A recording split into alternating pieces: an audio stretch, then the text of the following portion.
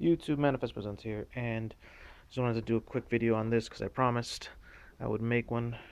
Um, I, I was looking for the uh, actual footage of me making it, can't find it, but if I do, I will definitely um, remake a video on how to do it uh, step by step. But honestly, this took me a day, maybe two, to let everything like uh, dry completely. Um, the only thing that took a while to make was probably this part, uh, but it was really simple. It just it kept coming off after using it so much. But let me take you the easy steps of how to make it, and you'll be like, "Oh man, that's easy," and I'll be like, "Yeah, I told you," and you'll be like, "Oh my god," and then we'll be like, "Oh, okay, that was a weird conversation." So, um, obviously, I used uh, this kind of foam. Uh, I got that from Wal Walmart. You can use any kind of foam. Um, this is like foam mats for like working out. Uh, type in e, uh, EVA foam. You can find that anywhere. You're already on the computer. Um, just search it on the interwebs. You'll be good. The train is passing by right now, so I don't know if you can hear it. I'm pretty sure you can. Uh, it's pretty loud. Um, but let me just take you through a quick shot of the paint job while the train passes. Um, this is not even indent. That's just painted on. I just painted a silver circle, make it look like a, a bullet hole. Um, but if you want, you can definitely use like some, some something with heat and just like press that in there to make it look like an actual bullet hole. Put some blood. I just did like little flicks of the wrist. Look at the flick of that wrist. Uh, for the paint to make it look like it's splattered some blood on there. Uh, did kind of like a um, Watchmen kind of deal here and uh, two more bullet holes. For some reason, I decided to put bullet holes all over here um, on this side. Don't know why. I don't know if I did that on purpose or, or, or what, but these are basically three pieces of foam. This is a big, or four pieces of foam. Big piece of foam, or four big pieces of foam. Ugh. So let's try that again. So basically, it's four big, or five actually. Let's try that again. so it's actually five big pieces of foam. This big piece right here, these two pieces, that's three, four, and five. And then there's two smaller pieces of foam, which is, or, yeah, well, this was the same piece. I just cut it up in uh, different parts, and then this is a, its own separate piece. so basically, I made this shape, um, as you can see here. So that's one piece. And then the two pieces go on both sides the little smaller ones, just basically to go over the shoulder. I use the heat gun to mold it into place or to you know keep that shape, and then this back part is just another whatever. As you can see, this whole big piece actually keeps going to help it like help the pack uh, not move around. this to make it look like an actual like utility pack.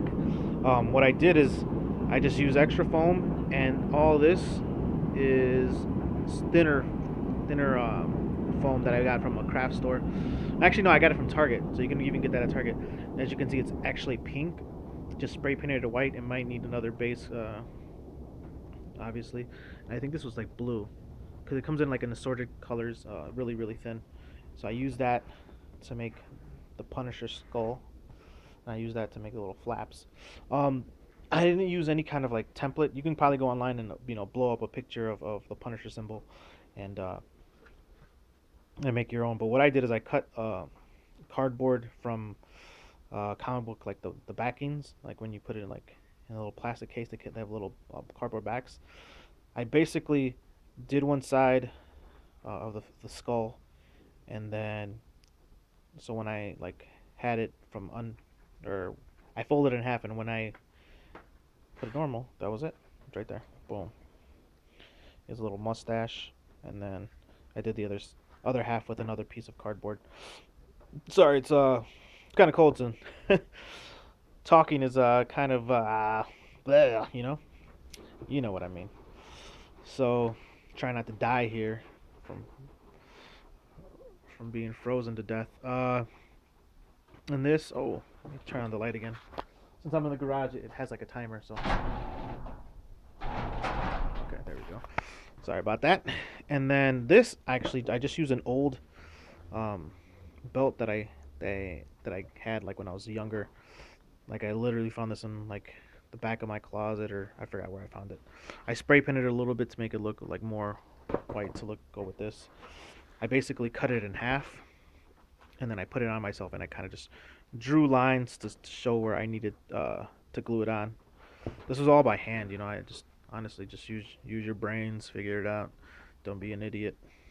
Simple stuff. Um, so I cut that piece. That's why this this doesn't have a buckle like this one does. And then yeah, from there I uh, I can actually put it on.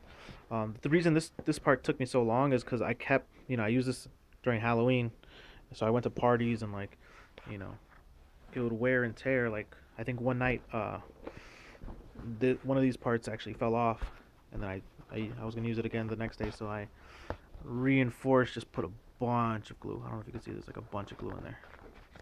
Yeah, I just used like just a buttload of glue um, just to keep it in place. Yeah, look at that. So, so I could stay in, in place and and not move around as much. I did this like two years ago or like a year ago. I think two years ago, if I'm not mistaken. So this actually stands, you know, stood the test of time because it's been it's been here in this garage for like two years, just sitting here collecting dust. And um, yeah, so I mean, this could always be like a cosplay. Yeah, oh look at that, even the got some indents from like laying around on stuff. Um, this could always be like just an easy cosplay or easy Halloween costume, an easy uh, convention thing that you can make. It took me like honestly, uh, not even like a full day, like two two days, but like both of those days weren't full. It was just I cut it out, um, and then I spray painted it, and then I waited till the next day, and then I you know glued it all together pretty much. That was honestly all that I did. So I'm pretty sure you guys can do this. I did this for for uh, Halloween, um, but you could definitely do this for a convention, Halloween, uh, costume party, uh, whatever. Um, definitely try to do that again if I could find the other videos. Uh, I'll do an in-depth one, but honestly, it doesn't take that long. You can figure it out. Um, thanks for watching. Subscribe if you haven't subscribed. Like, favorite, comment, share. Um, and let me know if you guys try to make one. Uh, send me a picture. I'm on Instagram, just Manifest Presents, and uh, you know, put hashtag Manifest Presents so I can see what you come up with. Thanks for watching. I'm gonna go because the train's about to pass by, or it's passing by now. So, bye bye.